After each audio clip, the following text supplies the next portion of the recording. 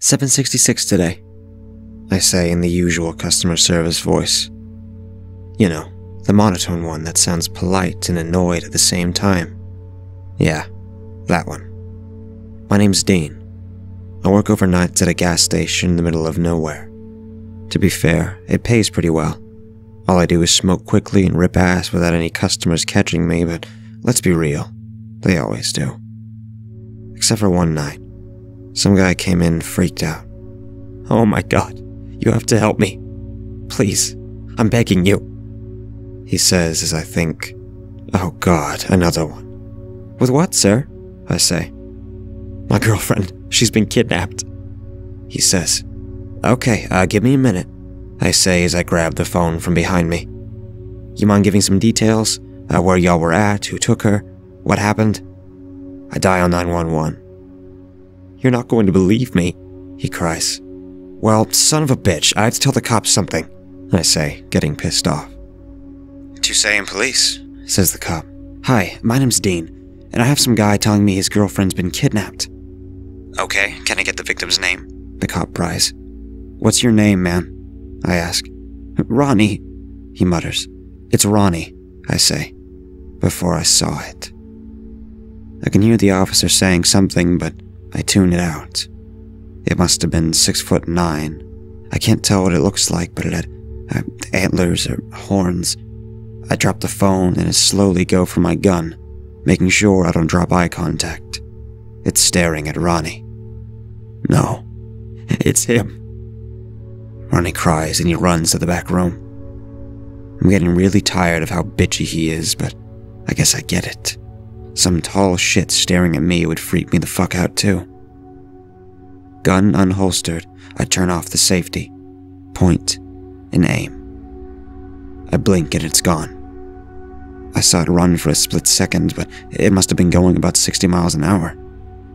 I stood there, shocked. I reset the hammer on my gun and rush to the door. I lock it and try to find Ronnie. Ronnie? I shouted. I return the gun to its holster. Is it gone? He whispers. Where the fuck are you? I demand. Ronnie squeezes out from underneath the sink. He pissed his pants on top of it. Now I feel bad because there's no way that was comfortable, and now he smells. I sigh and help him out. What the hell was that, Ronnie? I ask. A skinwalker, he says. A what? A skinwalker, he whimpers. Oh, hell no. Get your stupid, superstitious shit out of here, I gripe. Hey, you saw it too, he argues. No, it's some jackass in a mask, I try to reason, lying. I have to admit, it was some weird shit. Nobody moves that fast. And you're saying that guy kidnapped your girl? I ask. She's dead. They die. They always die. If a skinwalker gets a hold of you, you don't come back, he says, monotone. No, we're not gonna start that shit. A, you don't know she's dead. B, I've already called the, the phone. We can. The lights cut out. Fuck, another outage? Was this thing smart enough to cut power like that? The two emergency lights fill the room. Shit, I say. I pull out my phone. No signal, of course. I get my gun and pull the hammer back. Whoa, you're not going to go after that thing, are you? Ronnie exclaimed. Hell no.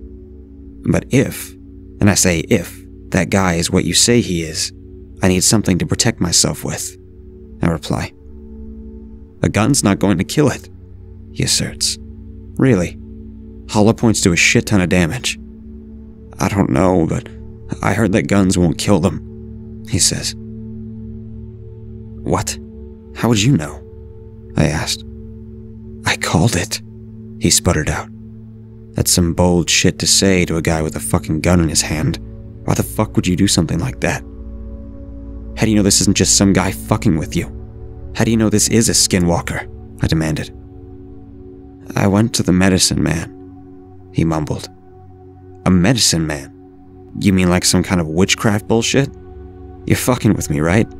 I say. Then you explain what you saw, he cries.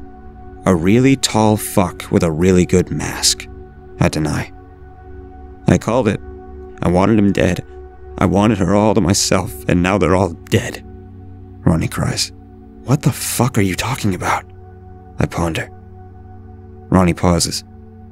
I'm native to these lands. I know that Native Americans get a bad rap around here. You don't say. I cut him off. He glares at me and then continues. But I know that this is real. I know that if I couldn't marry Savannah, I would rather be dead. Now, the Skinwalker is out. They're always out, but I called this one. There's no saving me. He gets up and begins to walk to the door. You're not making any sense. What the hell are you talking about? I yell. Ronnie stops. I called the medicine man. He gave me instructions on how to summon the skinwalker. I marked Savannah's father, and it killed him. Now it killed Savannah, and clearly he wants me. He ignores you. Just stay safe, Dean. He continues to walk. What the hell are you doing? I demand. Giving myself to the skinwalker. He'll stop once I'm dead but he'll want more, eventually. He'll get you if you call. If you stare. If you're scared, Ronnie says. No, I'm not gonna let you do that. What makes you think it'll stop if you die? If you're not lying out of your ass. It just sounds like you're giving up, I say. He presses on the door before shoving it. Like I said, it's not going to happen. It's locked, and you can already see the wire in the windows. You're not going to die. Not if I can help it, I assert. Ronnie screams and begins to slam his hands and body against the doors. I take a step back and ready my pistol. Eventually, he breaks down and just cries. That's when I see it. A police cruiser rolls in. It pulls up to the front parking spot and comes out. Officer Jenny. Not OJ. I have to do something. Move, I commanded. Ronnie scurries out of the way as I shuffle through the massive keys that I have. Then I see the thing, charging at her in the distance. No! I yell. I find the key, unlock, and rip the door open. Dean, buddy, what's the issue? Asks OJ. I draw my gun. Hey! She yells and draws hers.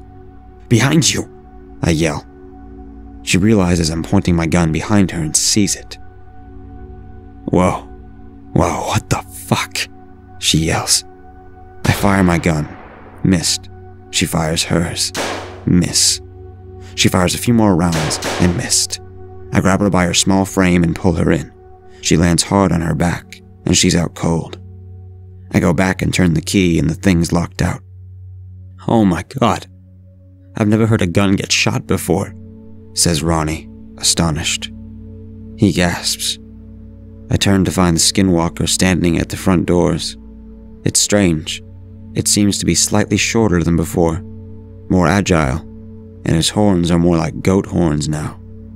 Much smaller in comparison to the antler like horns I saw earlier. Half man thing, half beast. This shit kinda looks like a naked man on the bottom and a goat or a bull on the top. It looks different. Is there two of them? I thought so. Until I saw it started growing taller. It made disgusting snapping noises as it grew. Its horns extended out. And next thing I knew, it ran away. We're screwed, I said. What happened to you staying alive? Ronnie says. Look here, it's you, me, and a passed out cop right now. Her cruiser is there. Maybe we got a shot at getting out of here. My car is. I stumble.